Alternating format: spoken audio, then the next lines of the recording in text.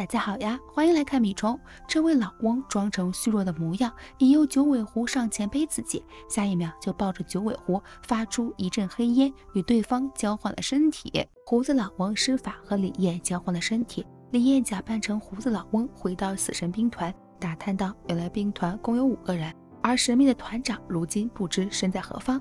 与此同时，胡子老翁利用李艳的外表获得红珠和无影的信任。当他得知红珠偷走了李艳的守护石后，立即上手去抢。红珠是个暴脾气，一拳把假李艳打飞，还掐住他的脖子。就在打斗时，大胖靠近红珠，雪女则去对付吴影。而真正的李艳因为老翁的身体受伤，战斗力不佳，没有加入战局，躲在一旁伺机而动。双方各自开战，没想到重量级大胖竟不是红珠的对手，被他打倒在地。一旁的假李艳发出嘲讽的声音。大胖气不过，拎起贾李艳的衣领。胡子老翁连忙亮明身份，但大胖不信，想狠狠教训嘲笑自己的家伙。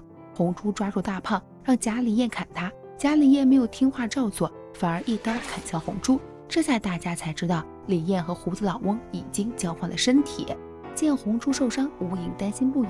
雪女趁吴影分心，拉住他的胳膊，将他冻住。这下三人小分队只剩下红珠孤军奋战。红珠寡不敌众，很快就被雪女冻住。这时，无影动用法术自我解冻。就在雪女从红珠身上拿走守护石时，无影从身后给了他一刀。大胖向无影冲去，奈何体重过大，身体灵敏度低，被灵活的无影一连给了好几刀。无影已经筋疲力尽，但还是坚持使用自己的法术为红珠解冻。大胖上前阻止，从身后抱住无影，狠狠勒住他的腹部。无影口吐鲜血，依然坚持融化红珠。雪女发现无影的特长是使用火，于是让胡子老翁和无影交换身体。不过在这之前，他们要先毁了李艳的身体。真正的李艳就在一旁看着他们一刀又一刀的伤害着自己的身体，焦急万分，却又无能为力。就在老翁与无影面对面，即将启用法术的时候，李艳终于找到机会，及时冲到老翁面前，挡下了他吐出的黑雾。老翁来不及终止法术，被迫和李艳换回了身份。李艳一换回来，就操控空气降下一道惊雷，将老翁当场劈死。胡子老翁死去，大胖和雪女也成不了气候。李艳从雪女手中拿回宝物，两人见势不利，落荒而逃。疲惫的三人躺在地上，在睁眼时，他们正躺在饭店的地板上。他们发现所有夜叉都被杀光。李艳以为是李朗所为。三人回到妙园阁养伤，生活看似恢复了平静。直到有一日，兄弟俩聊着天，李艳突然发现李朗在阳光下没有影子。李艳觉得奇怪，回去找两位小伙伴询问他们是否记得那日几人是怎么回到妙园阁的。三人都只记得在饭店醒来，但失去了从饭店回妙园阁的记忆。李艳终于明白，这里不是妙园阁，他们还被困在房间里。意识到这一点后，三人终于摆脱幻境，回到了房间。团长已经在此等候多时。团长命令李艳交出宝物，没想到李艳竟乖乖交出。原来在很久之前，李艳刚入住饭店时和团长打过照面，那时团长就已经将她迷惑。拿到宝物后，团长让李艳清醒过来，接着他又迷惑了红珠、无影二人，让他们自相残杀。一旁的李艳只能眼睁睁看着。李艳假意对团长示弱，就在团长放松警惕时，李艳突然念了一句咒语，大胖和雪女二人围了过来。大胖钳制住团长，雪女将他冰冻。李艳拿回了宝物，反转来的措手不及。原来九尾狐可以施展类似的幻术。早在李艳还在老翁身体里的时候，就已对雪女和大胖下了蛊。李艳一刀捅入团长的身体，接着命令雪女、大胖二人带着团长一同从房顶上跳下去。李艳刚解决了敌人，无影突然出现，抢走宝物。还好李艳警觉，只被无影抢走金尺，守护时仍留在李艳这里。无影拿着宝物逃走，因身受重伤，昏迷在了路边。还好玄一翁发现了他，把他带到田螺姑娘那里，请田螺姑娘好生照顾。无影伤好后向田螺姑娘告辞，他心里还挂念着救哥哥一事。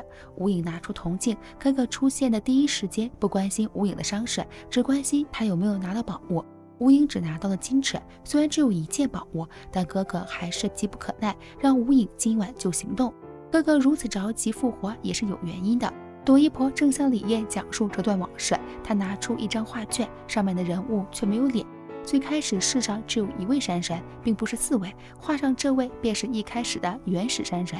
后来原始山神发疯了，世上开始有了妖怪，于是阎罗王杀了他，并将原始山神的法力化为四件宝物，封存在四个不同的时代。守护石和金尺就是其中两件。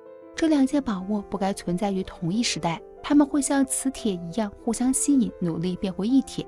如今无影夺走了金尺，他想用金尺唤醒哥哥，但他真正唤醒的或许并不是哥哥，而是原始山神。此时无影已经开始了唤醒仪式。多伊婆之所以没有阻拦，是因为只有唤醒原始山神后，才能将他彻底抓住，所以必须冒险一试。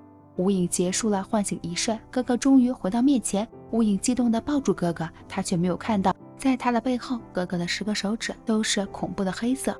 哥哥将无影越抱越紧，无影快要不能呼吸。哥哥这才承认自己并不是他朝思暮想的哥哥。说着，原始山神在无影的额头上轻轻一点，无影向后倒去，他的心脏不再跳动，眼前越来越黑，慢慢走向死亡。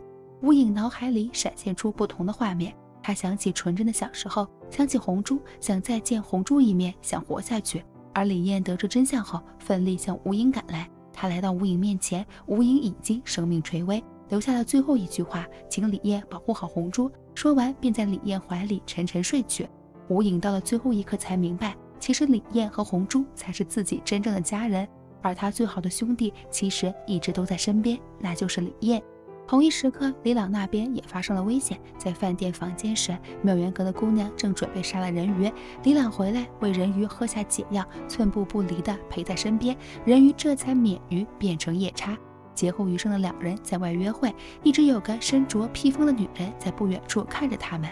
趁李朗暂时离开去买东西，女人靠近人鱼，伤害了人鱼。她竟是还未死去的雪女。